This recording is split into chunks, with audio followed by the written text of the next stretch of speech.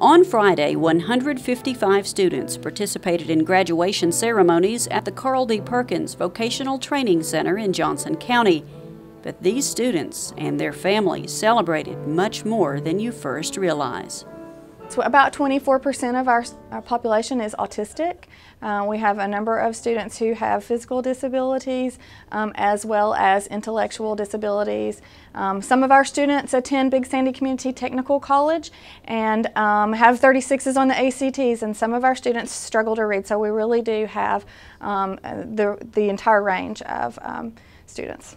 So they could come here, uh, live, receive uh, residential services, receive vocational training, as well as any ancillary services such as um, speech therapy, physical therapy. Students receive certificates or diplomas in many different areas from cosmetology to building maintenance to child care development, which was the program that helped fulfill a lifelong dream for Bowling Green resident Shelby Huff. I've always dreamed of going to college and getting a degree. But with the struggles, I didn't feel like I could go. When it came senior year of high school, my counselor told me about Carl D. Perkins.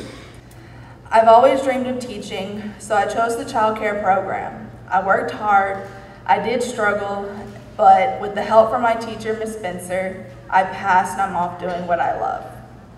I came home within, and within two weeks, I found a job in a daycare.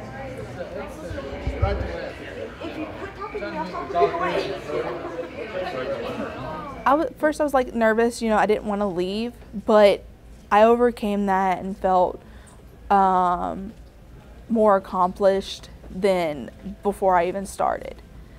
I felt just like everything had come together. A lot of our students haven't spent a lot of time away from home. Um, so they come here for the first time, they make friends, um, they live on their own or they learn how to live on their, uh, their own. They learn the, um, all of the idiosyncrasies that are associated with dormitory living.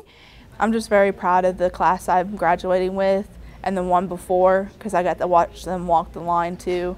So I'm proud of everybody that comes through here.